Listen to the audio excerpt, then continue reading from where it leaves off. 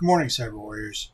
I'm going to go over a few things within PowerShell today, uh, specifically how to identify what paths and drives that you can use to include the registry. Speaking of the registry, we're going to talk about a couple of key keys that you want to take a look at to include some things that you want to specifically change to your organization's requirements or just simply to make more secure. Uh, and in order to do that, we're going to talk about the PS drive, set location, get item, and set item property. So if you're ready, let's get right to it. All right, so let's go ahead and start talking about a few things that we're going to want to do. Uh, so we're going to take a look at the different drives that PowerShell can actually navigate through, which includes the registry information and how to do it. Uh, also, we're going to go in and take a look at a couple of key registry entries that uh, you should always be looking at and potentially setting uh, every time you operate within a system or making sure it complies with your company's uh, organizational requirements. All right, so let's dive straight into it. So we're going to go in and we're going to get PS Drive. This is going to provide us information about all of the potential drives you can actually change directory into. Uh, and you can use the shortcut command, which is CD, but I'm actually going to tick to you and we're going to do programmatically set location. Actually, we're going to do that with dash location. There we go. And we're going to tell it the path. The path is HKLM colon. So this is just like going into the C drive, the D drive, or any other drives you can navigate to. Is the drive number or letter, in this case is HKLM. Uh, and then the colon slash, we've got software. Notice autocomplete works. If you're not autocompleting, there's something wrong. So double check your spelling. Microsoft, we want Windows, and then current version. All right, so I'm going to hit enter, and you'll see that it changed the path name to that entire path, which is exactly what we want to see. So now what we're going to do is we're going to take a look at two key registry entries, and we're going to get the item for them. And the first one is run. Now, looking in this, you see that run has security health, which is your information. It checks to make sure that your antivirus is running, your firewall rules are set appropriately. It's that little annoying shield down in the bottom corner of your, your drive that uh, lets you know that something is off. Uh, or, you know, also everything is good to go in green. Uh, VBox tray. VBox tray is for VirtualBox. I'm running a Oracle VirtualBox machine on this, so that is absolutely appropriate. Uh, and if you remember from a previous video, we've got TightVNC for the TVN control. Uh, we know that that is not authorized software on this system and probably should be taken care of. This is showing that it's actually in the run. So every time you start up the system, this will start up as well. So even if you turn it off and you successfully kill it, as soon as you reboot, unless you've removed it, it will come right on back. That's part of persistence for you. The other one that we want to take a look at, and we're going to hit the up arrow for it, and that is the run once. This is generally used for installing new software where it says, oh, you know, we've installed it, we want you to reboot well, that reboot usually puts the finishing pieces inside the run once uh, registry key, but some malware and some nefarious actors out there like to use the run once key as a way to hide their persistence. So every time that it comes up, one of the things is it sets itself right back into here so that every time you restart it, it will show up. And they're not showing up in the run so that when you look at run and run alone, you're going to miss it. So make sure you check for both the run once and the run keys when you go into these things. Now we're going to change directory over into the Win logon because what we're going to do is we're going to disable the auto uh, admin logon functionality, right? We're going to require every user use a password in order to get onto the system. Okay, so we're going to do that and we're going to navigate just like we would within the system. So do you know what this command is doing? Right here, right here, we've got cd dot dot slash dot dot slash. This is going to change the directory two levels. Right, currently we're in HKLM software Microsoft Windows current version. So I'm going to go back two levels. And now you see that we are going down to Microsoft. The reason why is because we need to go into a different folder here. So we're going to CD and we're going to do Windows NT.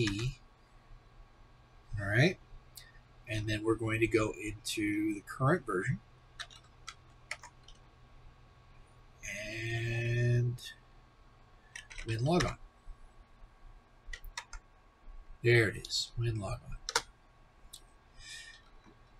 So now what we need to do is take a look at the value of the information that's here within WinLogon.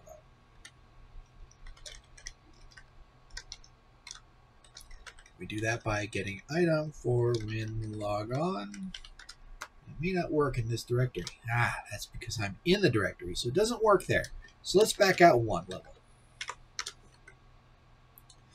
So let's do that command again completely different results.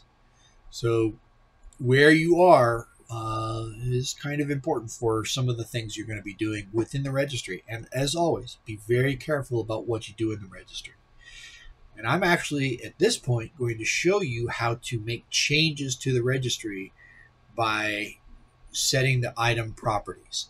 Okay, so a couple things we're going to look at is the legal notice caption, the legal notice text, and then also the auto admin logon. We're going to tackle this one first. So I'm going to copy that because I'm going to need it. So we're going to set the item property and we need to tell it which item property property we're going to change and this is the name it's the auto admin login log on sorry and then we're going to give it a new value and that value is going to be a zero.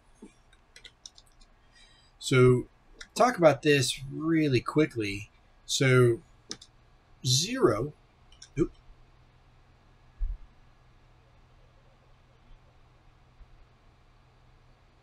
it didn't like any of that. So let's kill out of that.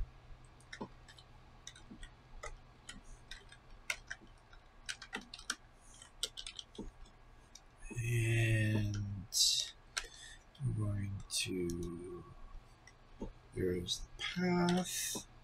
Scroll this up so we can see it. All right so let's see what we've got here uh, set item property path HKLM software Microsoft Windows NT current version WinLogon uh, that is correct name auto admin logon value is zero this should work. There we go. All right. So we're going to go ahead and take a look at this property here. And we'll see that the auto admin logon is set to zero. If it was set to one, that means that they are able to log on to the system automatically. So let's actually take a look and see what that is. We're going to change it back to 1. And I'm going to start NetPLWiz.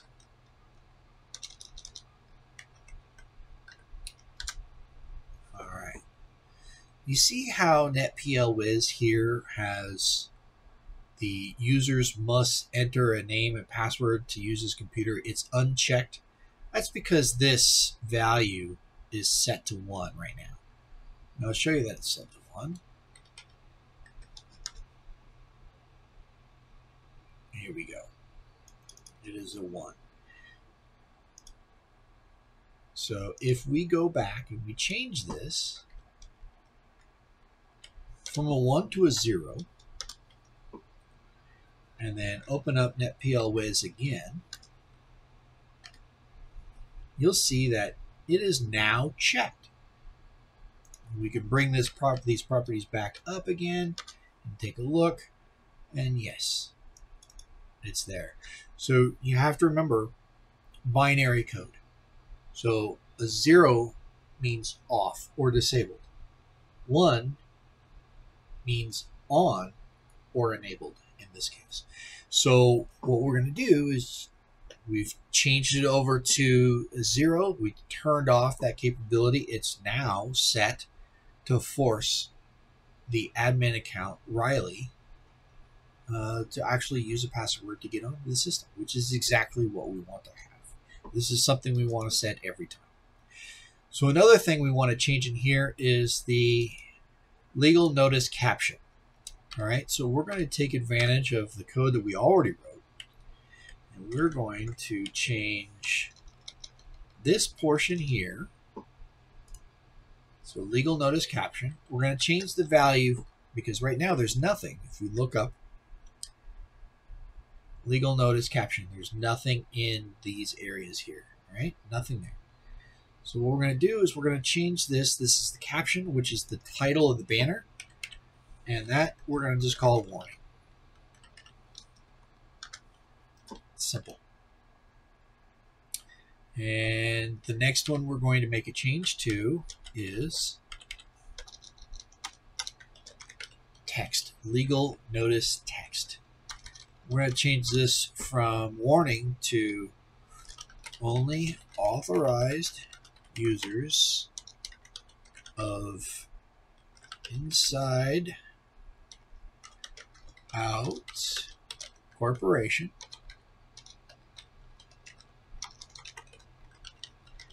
can log into this computer or else face the wrath of Bing Bong.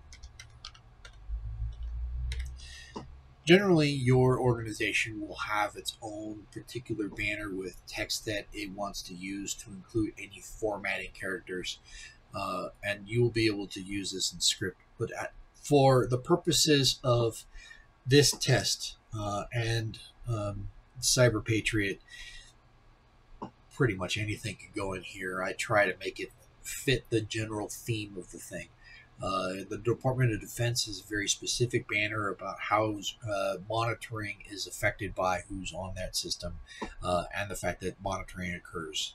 Um, so this is just something to fill in the text for that. We're going to go ahead and hit enter. We're going to bring up those properties again for WinLogon. And we'll see that there's now information here. Don't worry about the formatting and the strange like wrapping that it does. That's a side effect of how we're viewing the information. Uh, it's not going to dramatically affect the way that the banner actually reads.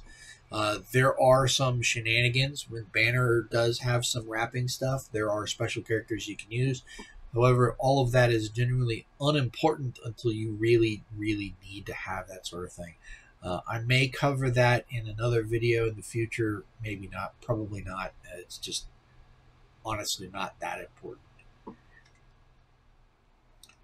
Alrighty then, Cyber Warriors, we've gone through a number of things. We talked about the PS drive. We talked about location, uh, specifically going into the uh, uh, LM uh, software into the Windows current version to identify run and run once.